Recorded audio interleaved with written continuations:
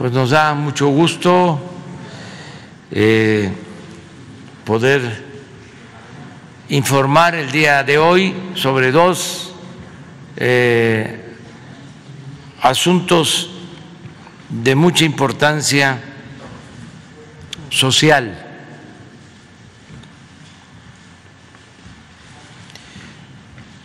Vamos a a firmar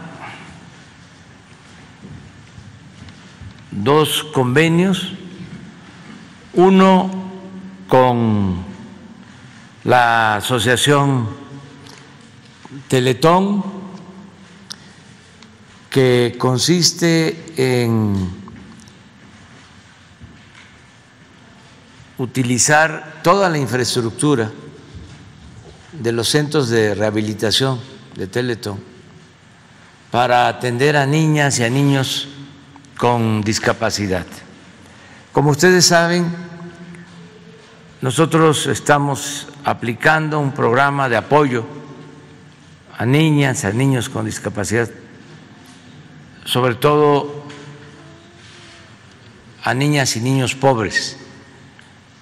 Se atiende a un millón de niñas y niños pobres con discapacidad que reciben una pensión igual que la de los adultos mayores. Sin embargo, aunque esto es una ayuda porque las familias cuentan con recursos para atender lo indispensable, no es suficiente porque se requiere la rehabilitación, el tratamiento. Hay muchas niñas, niños que nacen con una discapacidad menor y como no son tratados porque no tienen forma, no tienen para pagar terapias, esas discapacidades menores, leves, se convierten con el tiempo en discapacidades graves y de por vida.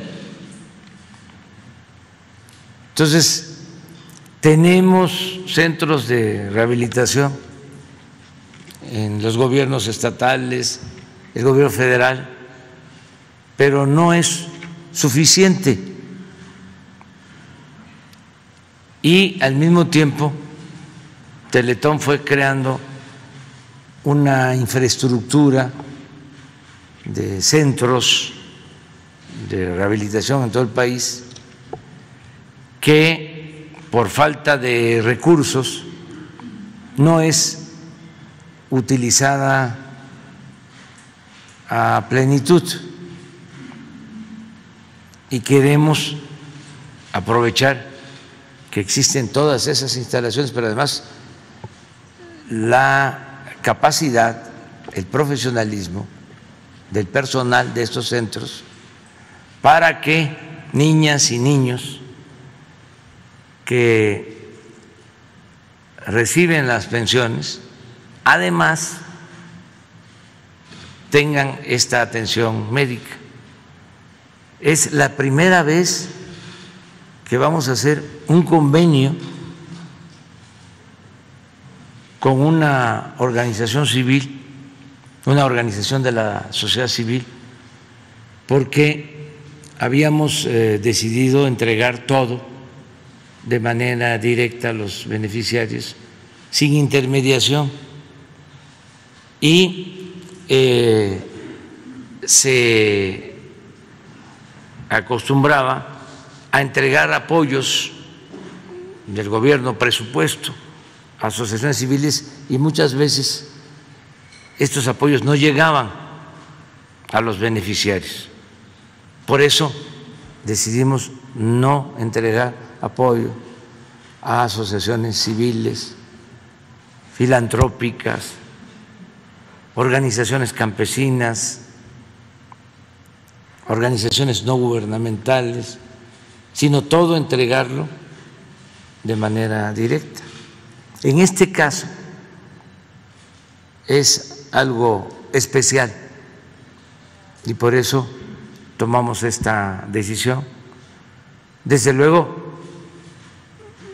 va a ser un apoyo directo porque se va a explicar ahora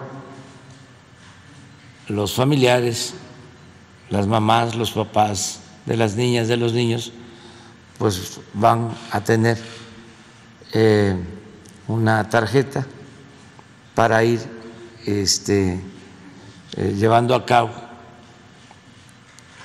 todas las consultas, para ir registrando las consultas y se va a tener eh, una supervisión. Bueno, vamos a tratar este asunto. Agradecemos mucho a eh, Fernando Landeros, que es el presidente de la Fundación Teletón. Hicimos esto también por tratarse de Fernando, que es eh, un ciudadano ejemplar, una gente honesta, sensible. Y agradecemos pues eh, a todo el patronato de Teletón que nos acompaña aquí, son bienvenidos, Emilio, todos los que nos están eh, acompañando. Em, también vamos a exponer el día de hoy eh, lo del regreso a clases, que es muy importante.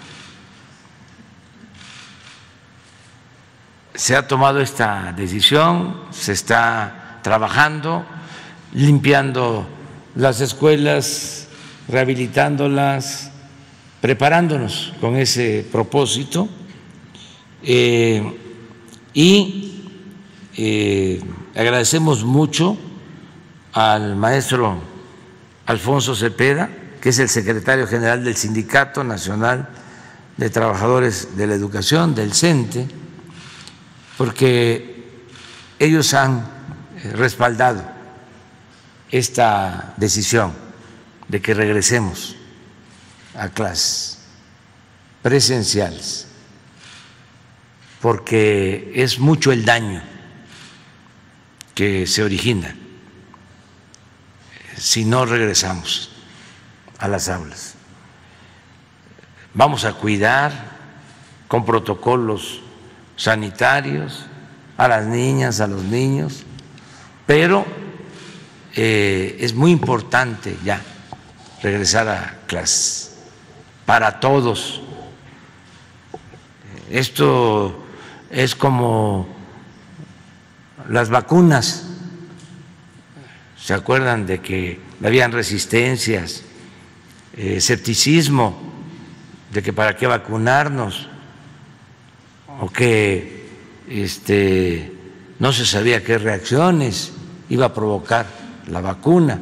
Bueno, ahora ya ha quedado demostrado que la vacuna protege y que aunque nos eh, contagiemos, tenemos eh, más posibilidades de salir adelante, de salvar nuestras vidas, sí contamos con la vacuna, si estamos protegidos con la vacuna. Esto ya queda claro, se puede probar de que los fallecidos en un porcentaje muy considerable son personas no vacunadas. Quien está vacunado puede ir incluso al hospital este, pero no eh, se agrava y lo más importante, no pierde la vida. Entonces, eh, digo esto porque cuando planteamos lo del regreso a clases se generó una polémica, como en todo, unos de buena fe, preocupados porque los niños puedan contagiarse y otros porque se oponen a todo lo que nosotros proponemos el bloque conservador reaccionario los que están inconformes con nosotros porque medraban, porque robaban, porque vivían al amparo del poder público y sobre todo de la corrupción, y ahora pues ya no pueden seguir eh, sacando provecho personal y están molestos por todo. No eh, vuelven en sí, sino en no, en todo. Todo es no. Pero sí hay gente preocupada por eh, la situación de los niños.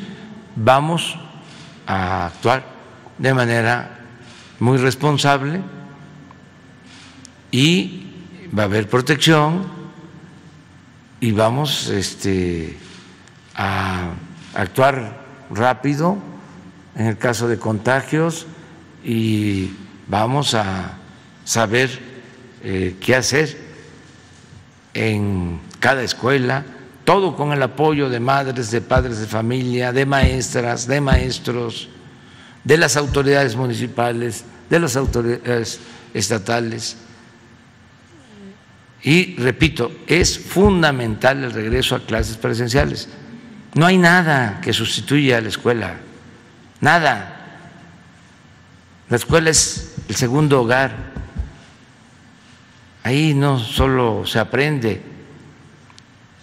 ahí este, se convive con otros niños, ahí eh, se sienten feliz los niños, los adolescentes con sus amigos.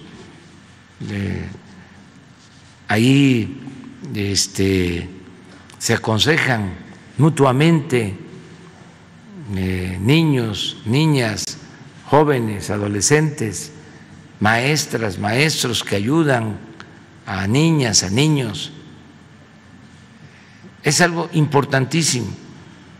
Y en su momento vamos a dar a conocer los estudios que tenemos sobre las afectaciones que se han ocasionado por este, no abrir las escuelas. Ya nosotros ya llevamos mucho tiempo. He informado que México y Bangladesh son los países que más tiempo han tenido cerradas las escuelas. Entonces ya no podemos continuar así. Tenemos que eh, empezar el ciclo escolar a finales de este mes. Bueno, esa es la introducción.